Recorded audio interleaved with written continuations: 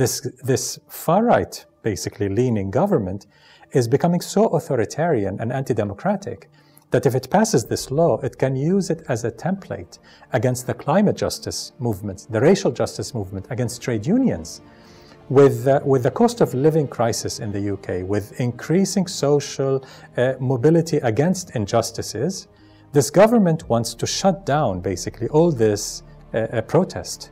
And the best way, the easiest way to do it, start with the Palestinians, start with BDS. They see us as the weakest link. Instead of condemning what is happening in Tel Aviv, condemning this right wing government.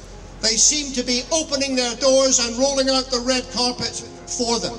So, by trying to silence voices advocating Palestinian rights, this government is using us as guinea pigs, as a test lab, to pass repression against every progressive movement, especially trade unions. And I think most people realize that, and that's why opposition to it is massive in the, in the, in the UK. It might affect procurement and investment divestment by public bodies, universities, city councils, which is extremely dangerous, yes, but it won't stop every other aspect of, of BDS in the British uh, public. One who absolutely voted against this wretched bill on Monday night, not just because of its singling out of the Palestinian people for special mention within the bill, but because of the very dangerous effects it will have on our free speech. It's intended to have a chilling effect, to make people say, you know, I'm, I do not want to engage in this BDS campaign because isn't that illegal? People might misunderstand this law as if banning BDS. It doesn't ban BDS. It doesn't make BDS illegal.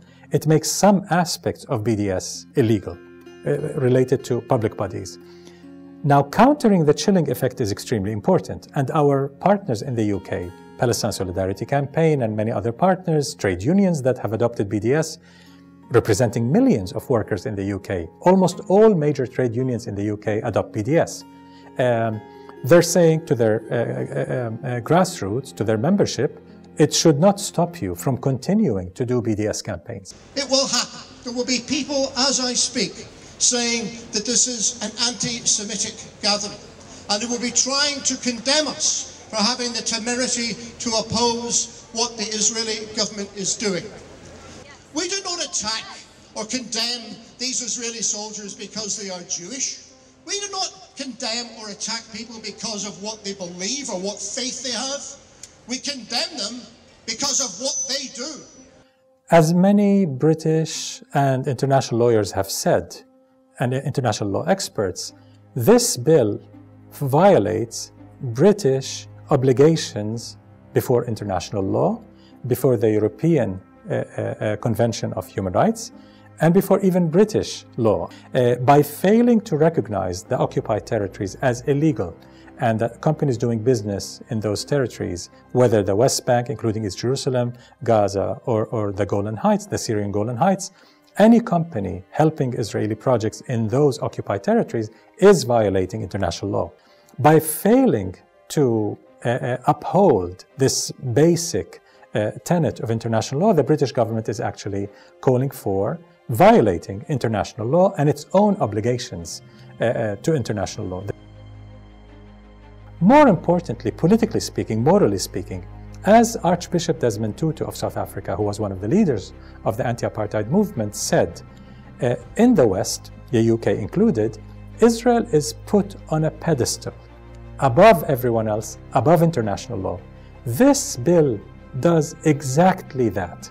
It puts Israel and Israel alone on a pedestal. No other state in the bill has this privilege of being above the law above accountability.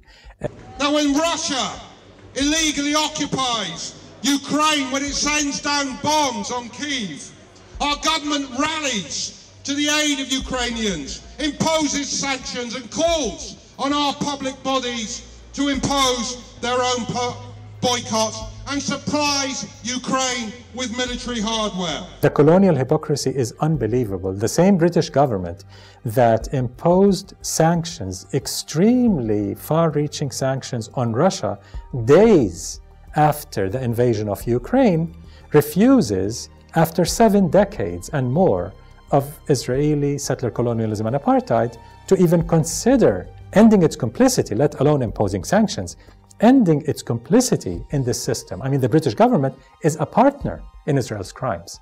The anti-boycott bill is just a further continuance of the British government's support of this injustice. The government is seeking to silence our voices of protest, to stifle our solidarity, and to quell our movements for justice. BDS is an anti-racist movement that opposes all forms of racism including not just Islamophobia and so on, anti Semitism. BDS has always rejected discrimination and racism against any group of people. So that's, that's uh, number one. Uh, there's so many Jewish supporters uh, in the BDS movement, especially in North America, but increasingly in the UK and Europe as well, that play a very important role in our struggle for freedom, justice, and uh, equality.